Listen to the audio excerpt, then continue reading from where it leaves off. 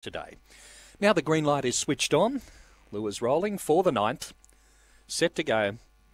Ready, and away they go and racing a fairly even line too. Hard to pick an early leader. Stitch and Panda might have just taken over. Breakfast Creek joins it as up the straight the first time. Miss One Love goes to third, followed by Double Attitude St. Beth and back towards the rear Monganui Bella.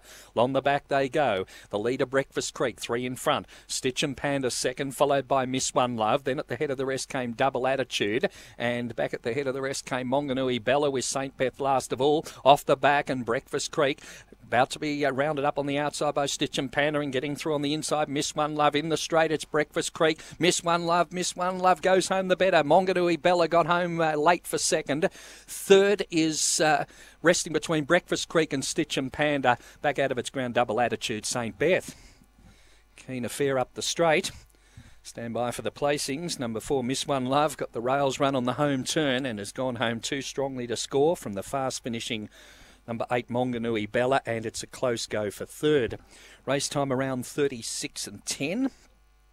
And the win to number four, Miss One Love. A black bitch whelped in April 18 by Dyna Double One from Miss Free Love.